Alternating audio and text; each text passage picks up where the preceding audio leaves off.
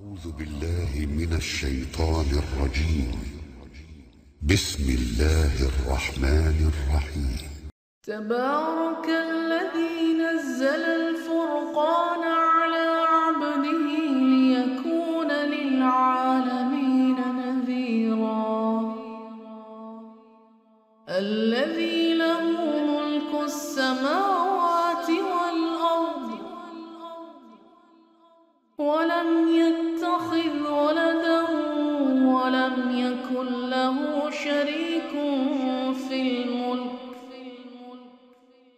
وخلق كل شيء فقدره تقديرا সুরা আল ফোরকান এই সুরাটি মাক্কি সুরা এই সুরাটি মাক্কি সুরা এই সুরার মধ্যে আল্লাহ রব্বুল আলমিন বিশেষ করে যে আলোচনাটা করেছেন এইটা এই নামের থেকে বোঝা যায় মানে এই সুরার নামটা থেকে এই সুরার বিষয়বস্তু বোঝা যায়। এই সুরার নাম হলো সুরা আল ফোরকান প্রথম আয়াতে আল্লাহ পাক ফোরকান বলছেন তাবারাক আকাল্লাদি নাসাল আল ফোরকান। ফোরকান হলো কোরআনেরই আরেক নাম, ফোরকান। কোরআনে কারিমের অনেকগুলো সুন্দর সুন্দর নাম আছে। তার মধ্যে একটা নাম হলো আল ফোরকান কোরআনের একটা নাম হলো আজ জিকির ইন্না নাহনু নাজ্জালনা যিকরা। কোরআনের একটা নাম হলো আল কিতাব অনেক সুন্দর সুন্দর নাম আল্লাহ পাক কোরআনে কারিমে বর্ণনা করছে। তোর মধ্যে একটা নাম হলো আল ফোরকান ফোরকান মানে ফরককারী। ফরক মানে পার্থক্যকারী।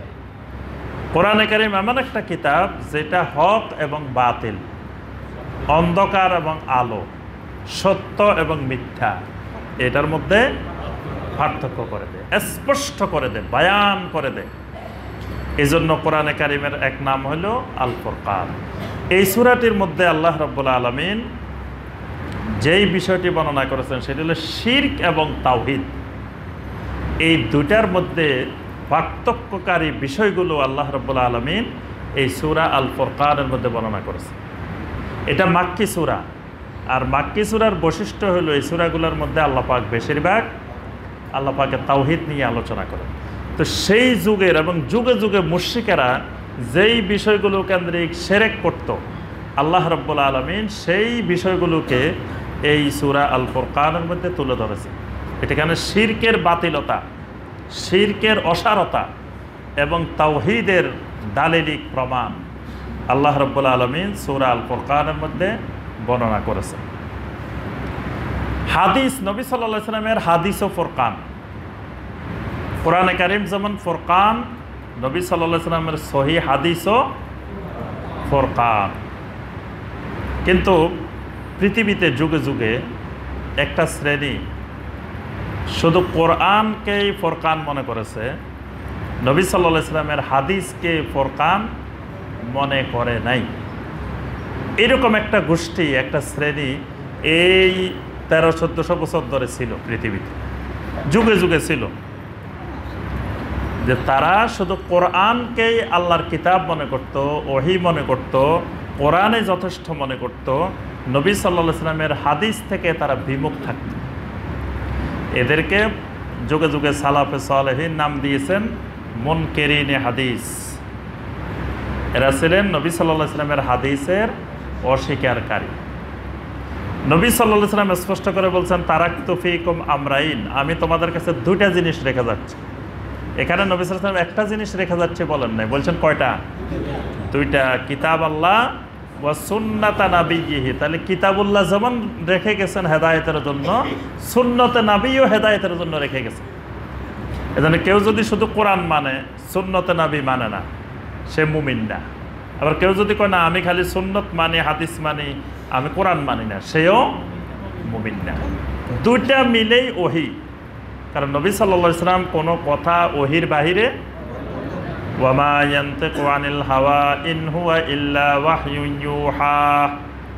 আমার নবী কোনো কথা দিনের ব্যাপারে নিজের থেকে বলেন নাই। যেটাই বলছেন, সেটা ওহির আলোকে বলছেন, সেটা ওহি। তাহলে নবী সাল্লাহ ইসলামের সহি হাদিসগুলাও ওহি। যুগে যুগে অনেক ফেরকা হাদিস অস্বীকার করছে। আপনার খারেজিরা অসংখ্য হাদিসকে অস্বীকার করছে। শিয়ারা তো একেবারে নবী সালামের মানে বলা যায় যে নব্বই ভাগ হাদিসে তারা বাদ দিয়ে দিছে। ফেরকায় শিয়া যারা, এরা নবী সাল্লামের কোনো হাদিসে মানে না। তারা বলে যে সাহাবাই কেরাম নবী সাল্লাহ ইসলামের মৃত্যুর পরে গোমরা হয়ে গেছে, নাউজুবিল্লাহ। সাহাবাই কেরামকে তারা মোরতাদ মনে করে। এই জন্য সাহাবাই কেরাম থেকে কোনো হাদিস তারা নেয় নাই। কয়েকজন গুটি কতক সাহাবি যাদেরকে তারা পছন্দ করে তাদের থেকে কিছু হাদিস নিছে। এর বাহিরে তারা কোনো হাদিস গ্রহণ করে নাই, তারা হাদিস মানে না। নামে মাত্র কিছু হাদিস তারা গ্রহণ করছে। তারপরে আপনার মোতাজিলারা মোতাজিলারা হাদিস মানছে, কিন্তু সরাসরি হাদিস অস্বীকার করে নাই। কিন্তু হাদিসকে আকল দিয়ে বিবেচনা করছে। আকলের সাথে মিললে ওই হাদিস গ্রহণ করছে, আকলের সাথে না মিললে হাদিস সহি হইলেও বাদ দিয়ে দিছে। আবার আরেকটা ফেরকা আছে মানে হাদিস অস্বীকার করছে তিন পদ্ধতিতে যুগে যুগে। এখনও দুনিয়াতে তিন পদ্ধতির হাদিস অস্বীকার আছে। এক পদ্ধতি হইল টোটালি অস্বীকার, কোনো হাদিসে মানে না হাদিসের দরকারে নেই। কোরআনে যথেষ্ট। আল্লাহ বলছে তিবিয়ান আল্লিকুল্লা সাহেব কোরআনের মধ্যে সব আছে। কোরআনের বাইরে আর কিছু দরকার নেই। এরকম একটা গোষ্ঠী আছে যারা হাদিস মানেই না। আরেকটা গোষ্ঠী আছে হাদিস মানে তবে বলে যে না, সব হাদিস মানা যাবে না। যেটা আকলের সাথে, যুক্তির সাথে মিলবে। এটা হাদিস সহি হলেও গ্রহণ করা হবে, আর যেটা আকলের সাথে মিলবে না, সহি হইলেও এটা গ্রহণ করা যাবে না। এরকম ফেরকাও আছে। আবার আরেকটা ফেরকা আছে যে হাদিসকে খুব সম্মান করেন, হাদিসকে খুব মানেন, কিন্তু হাদিসকে সনদের ভিত্তিতে যাচাই না করে ফেকের ভিত্তিতে যাচাই করেন। এটাও আরেকটা হাদিস অস্বীকারের মাধ্যম। আবার এই কথাটাকে বুঝাইতে পারছি। মানে হাদিস মানেন, হাদিসকে খুব সম্মান করেন। যে আমরা হাদিস মানি, আমরা হাদিসকে স্বীকার করি, আমরা নবী সালামের হাদিসের প্রতি সম্মান করি। কিন্তু হাদিসকে একটা শ্রেণি আকল দিয়ে গ্রহণ করবে কি করবে না, ওইটা যেমন যাচাই করে, আবার আরেকটা শ্রেণি আছে, হাদিসকে ফেক দিয়ে যাচাই করে। হাদিসকে কি দিয়ে যাচাই করে? ফেক দিয়ে যাচাই করে। কিন্তু আসলে ফেক দিয়ে হাদিস যাচাই হবে না, হাদিস দিয়ে ফেক যাচাই হবে। কথাটা বুঝছেন? হাদিস দিয়ে আপনি ফেককে যাচাই করবেন, হাদিসের সাথে মিললে ফেকি মাসালা গ্রহণ করবেন, হাদিসের সাথে না মিললে বাদ। কিন্তু এটা হয়ে গেছে উল্টা, যে ফেক দিয়ে হাদিস যাচাই করে। মানে আমাদের ইমাম যেটা মাসালা দিছেন, এই মাসালার সাথে যদি হাদিস মিলে বাস, ঠিক আছে এটা। যদি এটা না মিলে, যত সহি হোক, আমাদের ইমাম কি মিয়া কম বুঝছে নাকি? মিয়া আমাদের ইমাম, চল্লিশ বছর এশার নামাজেরও যদি ফজরের নামাজ পড়ছে। তোমরা কদিন পড়ছ?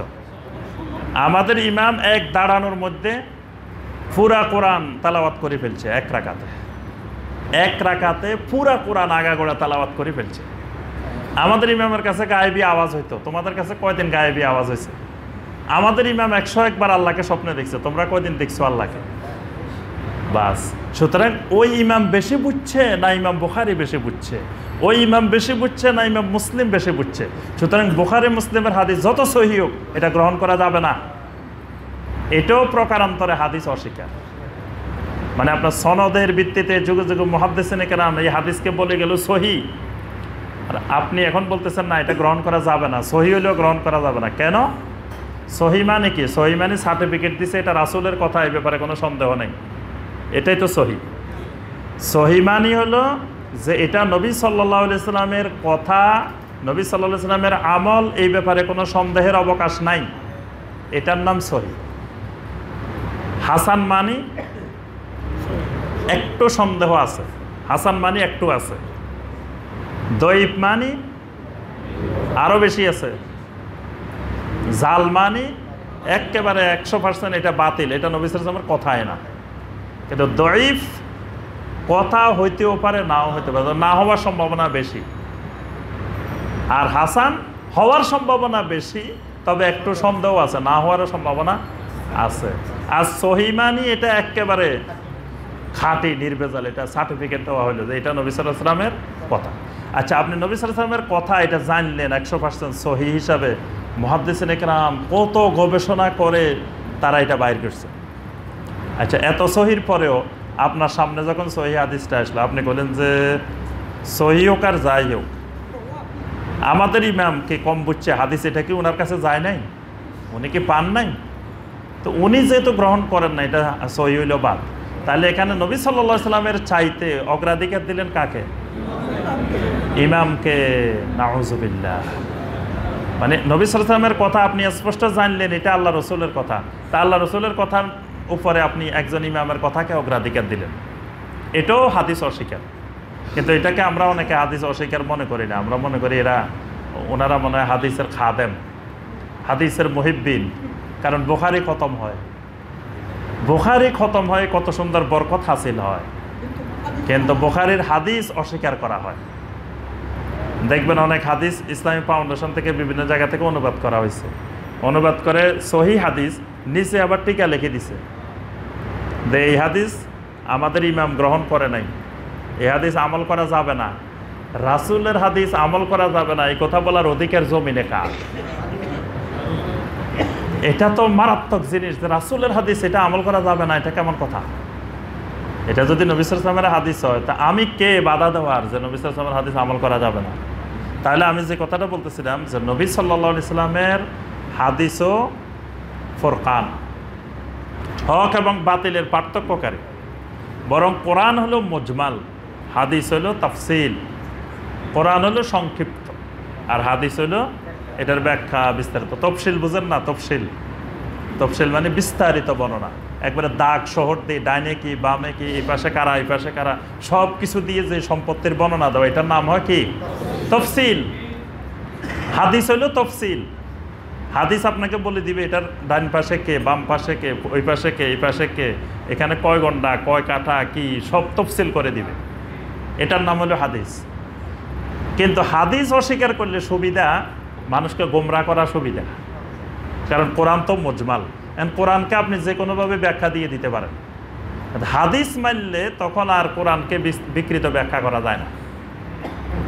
যেমন ধরেন, এখন একটা গ্রুপ আছে পৃথিবীতে, নাম হলো আহলে কোরআন। সোরা গ্রুপ সোরা গ্রুপ বুঝেন? মানে এমনি প্রকাশ্যে কোনো জায়গায় দেখবেন না। আহলে কোরআন নামে এমনি কিচ্ছু নাই। কিন্তু ভিতরে ভিতরে, গোপনে গোপনে কোনখান থেকে কোনখান থেকে কাজ করে। হঠাৎ হঠাৎ কিছু কিছু বাই মাঝে মাঝে পাওয়া যায়। এদের কিছু কথা শুনলে আপনি বুঝবেন যে ওই রোগে ধরছে। এটার পাকিস্তানে অফিস আছে, লাহোরে। তাদের সংগঠন আছে। সংগঠনের নাম হলো আহালু জিক্রে ওয়াল কোরআন। এটার প্রতিষ্ঠাতা আবদুল্লাহ সগরালবি, তিনি প্রতিষ্ঠাতা এই সংগঠনের। এটার অনেক পৃষ্ঠপোষক আছে। তো এটা আস্তে আস্তে এটা আমাদের এই দেশেও এই রোগটা সংক্রমণ হইতেছে বর্তমানে। এর আগে এটার সংক্রমণ ছিল না, বাংলাদেশে ছিল না, ইন্ডিয়া ছিল, পাকিস্তানে ছিল, বাংলাদেশে ছিল না। ইদানিং এটার আস্তে আস্তে সংক্রমণ হইতেছে। তো বলে যে নামাজ তিন ওয়াক্ত। তাওজুবিল্লাহ বা কোরআনে তিন ওয়াক্ত নামাজের কথা আছে, পাঁচ ওয়াক্ত নাই। দেখেন, ওহির কীভাবে অস্বীকার? পুরা ওহিকে বিকৃত করে দিছে। নবী সাল্লা সাল্লাম সারা জিন্দিগি নামাজ শিখাইলেন, পাঁচ ওয়াক্ত, কয় নামাজ? তিন ওয়াক্ত। তারপরে কয় রমজানে? ইফতার, সূর্য ডুবলে করা যাবে না আরও এক ঘণ্টা পরে। আরও এক ঘণ্টা পরে ইফতার করতে হবে। কারণ কি? কয় আল্লাহ বলছেন সোম্মা আতিম্মু সিয়াম ইলাল্লাইল রাত পর্যন্ত তোমরা সিয়াম পূর্ণ করো। রাসুল এই আয়াত বুঝে নাই, হে বুঝে গেছে।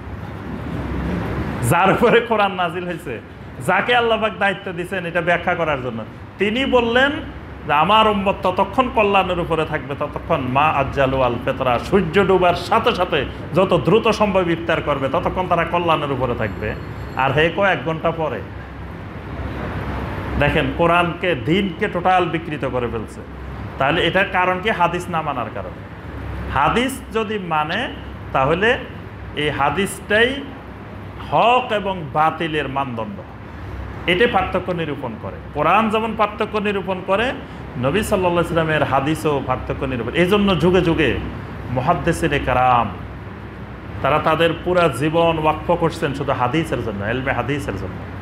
এলমে হাদিসকে তারা কঠিনভাবে শক্ত করে জমিনে ধরে রাখছেন যে কারণ এলমে হাদিস হইল মানুষের হক বাতিলের মাধ্যম, চিনার মাধ্যম।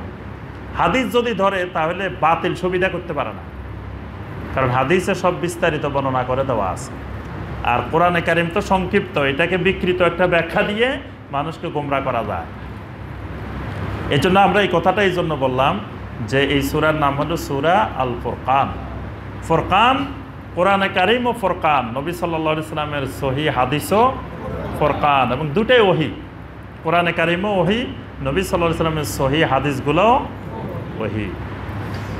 আল্লাপাক প্রথমেই এই ফোরকান কে নাজিলকারী মুশিকদের কথা ছিল যে কোরআন মনে হয় কোনো বড় কোনো পণ্ডিত আছে পৃথিবীতে।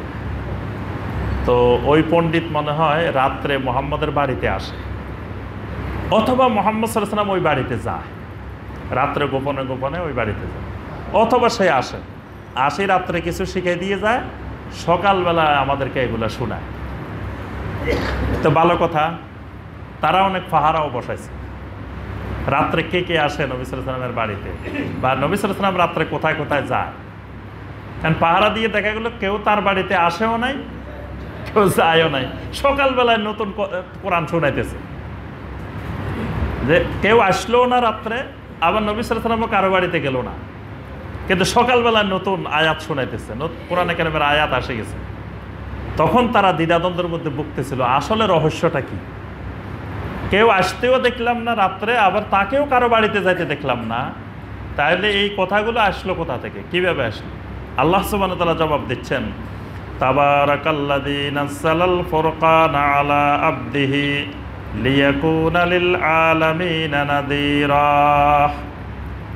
আল্লাহ পাক বর্ণনা দিলেন কোরআন কে নাজিল করে এখনও তোমরা চিনো নাই। তাবারাক আল্লাদি যিনি কোরআন নাজিলকারী তিনি হলেন তাবারাক। তিনি হলেন মহা বরকতময়, বরকতওয়ালা, বরকতের মালিক। আল্লাদি নাসাল আল ফোরকান, যিনি এই ফোরকানগুলোকে নাজিল করেন, যিনি ফোরকান নাজিল করেন, অবতীর্ণ করেন, তিনি হলেন বরকতময়, বরকতের মালিক। আলা আব্দিহি নাজিল করেন কার উপরে? তার এক গোলামের উপরে, তার এক বান্দার উপরে। তার বান্দাটাকে মোহাম্মদ রসুল্লাহ সাল্লাহ এখানে কিন্তু বান্দার নাম বলে নাই। কারণ এই বান্দা এত প্রসিদ্ধ, বান্দা বললে চিনে যায়। এই বান্দার নাম বলা লাগে না। কোরআন কার উপরে নাজিল হয়েছে এই বান্দার নাম বলা লাগে না। বল- বলার আগে সবাই এই বান্দাকে চিনে। তাহলে নবী সাল্লাহ ইসলামের মূল মৌলিক বৈশিষ্ট্য হলো তিনি আল্লাহর বান্দা, গোলাম। আর নবী সাল্লাহ ইসলাম পৃথিবীতে আসছেন মানুষকে মানুষের গোলামি থেকে মুক্ত করার জন্য। মানুষ মানুষের গোলামি করবে না, এক গোলাম আরেক গোলামের গোলামি করবে না। গোলামি করবে কার? যিনি সব গোলামের মালিক, একমাত্র আল্লাহ রব্বুল আলমিনের। এই জন্য মানুষ মানুষকে এক গোলাম আরেক গোলামকে যদি গোলামি করে, এটা সেরেক হয়ে যায়। সেজদা করবে কাকে? যদি এক গোলাম আরেক গোলামেরে করে, এটাই সেরেক। মান্নত করবে কার জন্য? একমাত্র আল্লাহর জন্য। কিন্তু এক গোলাম যদি আরেক গোলামের জন্য মান্নত করে বসে থাকে, সেরেক। কোরবানি করবে কার জন্য? এক গোলাম যদি কোরবানি নিলে আরেক গোলামের কাছে চলে যায়, সেরেক। এই সেরেক থেকে মুক্ত করার জন্য আল্লাহ পাক দুনিয়াতে নবী পাঠাইছেন। যে এক গোলাম যেন আরেক গোলামের গোলামি না করে। গোলামি করবে কার? একমাত্র আল্লাহর। এই জন্য নবী সাল্লাহ সাল্লামের নামের সাথে বারবার আল্লাহ পাক বলছেন, আবদিহি ওয়াসাদ ওয়ান্না মোহাম্মদান আব্দুহু ওয়া রাসূল আগে আল্লাহর গোলাম, তারপরে আল্লাহ রসুল। লিয়াকুন আলিল আলামিনা যেন আল্লাহর ওই গোলাম সমগ্র বিশ্ববাসীর মধ্যে সতর্ককারী হয়ে যেতে পারেন। সুহান আল্লাহ যে ওই বান্দা, যে বান্দার উপরে কোরআন নাজিল হয়, ফরকান নাজিল হয়, তিনি যেন বিশ্ববাসীর জন্য, সমগ্র দুনিয়ার জন্য, সমগ্র আলমের জন্য নাজির হয়ে যান, সতর্ককারী হয়ে যান। সতর্ক করবেন কি দিয়ে? কোরআন দিয়ে। কোরআন দিয়ে তিনি মানুষকে সতর্ক করবেন। আল্লাহ ওই আল্লাহর পরিচয় হলো আসমান জমিনের রাজত্ব, মালিকানা একমাত্র তার। সমস্ত দুনিয়ার, সারা জমিনের, আসমানের সবগুলার মালিকানা রাজত্ব কার? আল্লাহর এই রাজত্বকে বিকেন্দ্রীকরণ করার নাম সেরেক। আল্লাহর এই মুলকিয়ত, আল্লাহর এই ক্ষমতা, আল্লাহর এই রাজত্বকে বিকেন্দ্রীকরণ করা যাবে না। বিকেন্দ্রীকরণ বুঝেন? ক্ষমতার বিকেন্দ্রীকরণ।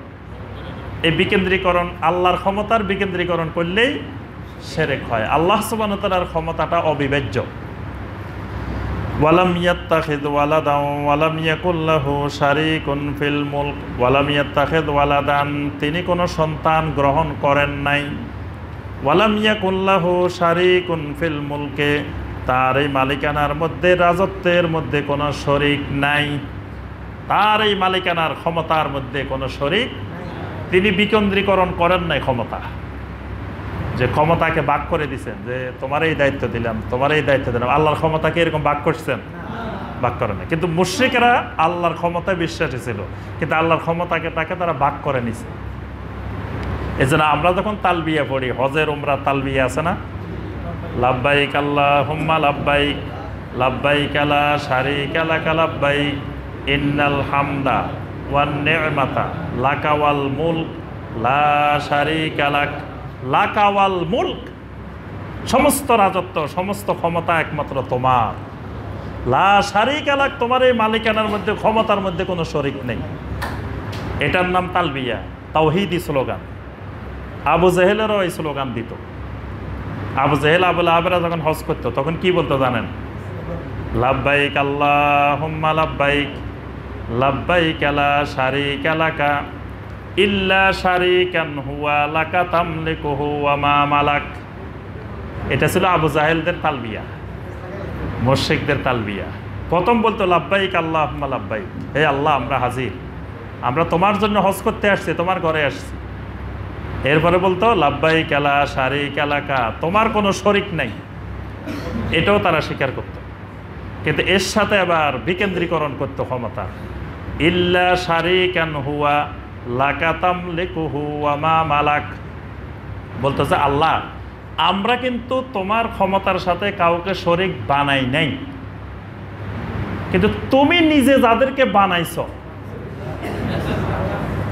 তাদের বক্তব্যটা ছিল, আমরা কিন্তু কাউকে তোমার ক্ষমতার সাথে শরিক করি নাই। কিন্তু তুমি নিজে, আল্লাহ, যাদেরকে তোমার ক্ষমতার শরিক বানাই নিছ। কাদেরকে বানাই নিছে আল্লাহ? হ্যাঁ? না তার কথা বলতো না। তারা বলতো, যারা আল্লাহর মোকাররাবিন, আল্লাহর অলি আল্লাহর মোকাররাবিন মানে কি? মোকাররাবিন মানে কাছে কিনারে, নিকটে। তা আল্লাহর নিকটে পৌঁছে গেছে মানে আল্লাহর আশেপাশে থাকে। এদের আসমানে মিটিং হয়। এদের জমিনে মিটিং হয় না। মিটিং হয় কোথায়? আসমানে হয়। তারপরে এদের সাথে আল্লাহ কীভাবে জমিন পরিচালনা করব? এগুলো সিদ্ধান্ত নেয় এদেরকে নিয়ে। এদের নিয়ে পরামর্শ করে। এই মুশ্রিকি আকিদা এখনও অনেক মুসলিম ভাইদের, বোনদের অন্তরে অন্তরে, ভিতরে ভিতরে ঢুকে আছে। এগুলো আবু জেহেলদের আকিদা ছিল এরকম। তারা তালবিয়ার মধ্যে বলতো, ইল্লা শারিকান হুয়া লাকা তামলিকুহু ওয়া মা মালাক। যে তুমি যাদেরকে ক্ষমতার মালিকানা বানাইছ, যাদেরকে তোমার সাথে শরিক করে নিছ। এমন কি এমন জাহেল মুসলিমও আছে যারা কোরআনে কারিমে আল্লাহ সুবান তালা বহু বচন ব্যবহার করছেন। আল্লাহ নিজের ব্যাপারে বহু বচন বলছেন না? আমরা বলছেন, আমরা। ওই দেখেন, আল্লাহ সব জায়গায় কিন্তু আমরা বলছি। তার অর্থ আল্লাহ একা নিজে পৃথিবী পরিচালনা করে না। আল্লাহর অলিদেরকেও আল্লাহর সাথে রাখছে। নাউজুবিল্লা এখান থেকে আসছে গাউস, কুতুব, আবদাল আওতাত এরকম আছে না?